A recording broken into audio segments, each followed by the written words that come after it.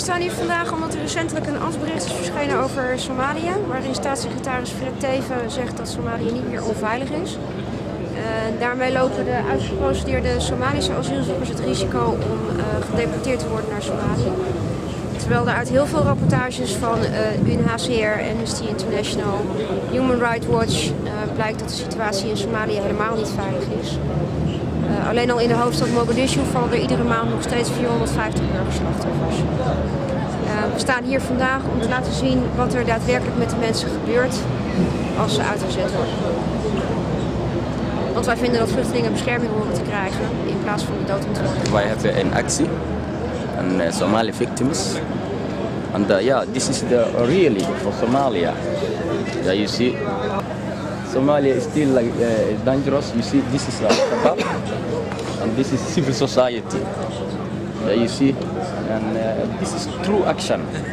Somalia more problem.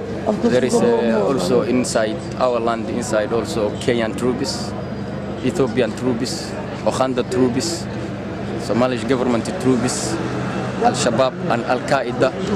And also Somali um, clans have uh, weapons and guns allemaal. Somalia nog niet veilig.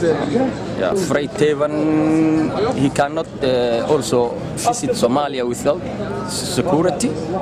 Somalia is not safe. I believe Somalia nog niet veilig. Yeah. So Steven, he is only talking only, but he cannot visit Somalia and without security. Inside Mogadishu only, he cannot visit without security. And Central and South Somalia, allemaal Somalia is gevaarlijk. Allemaal, I can say. Somalia. All Somalia.